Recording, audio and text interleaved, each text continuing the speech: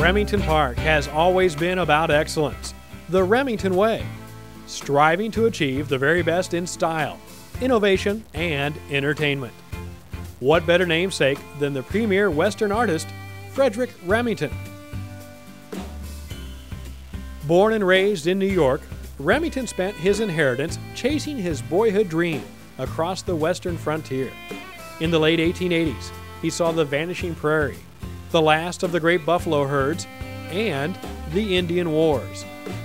Although he could never make a go of it as a rancher in Montana, he discovered that New York publishers were impressed with his knowledge and first hand experience of the Old West and began buying up every picture he could paint to illustrate their magazines. Before there were movies, illustrators fired the imagination of the American public. As the first cowboy illustrator, Frederic Remington played a pivotal role in developing the look of the American West. In addition, he served as a war correspondent during the Spanish American War. He became a successful fine artist while originating the cowboy art movement, rendering in pen and ink, oil, and sculpture. All of his art was based on his trips he made every year to the western frontier, reliving the adventures and striving for authenticity.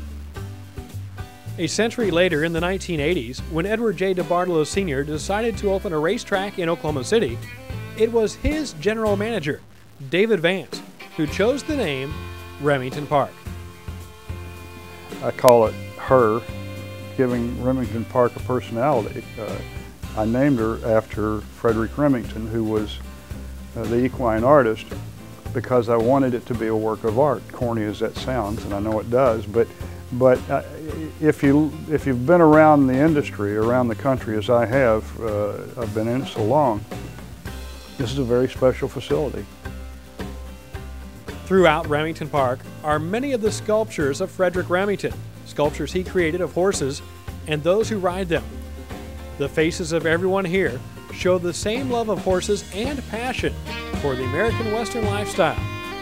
It is the Remington Way.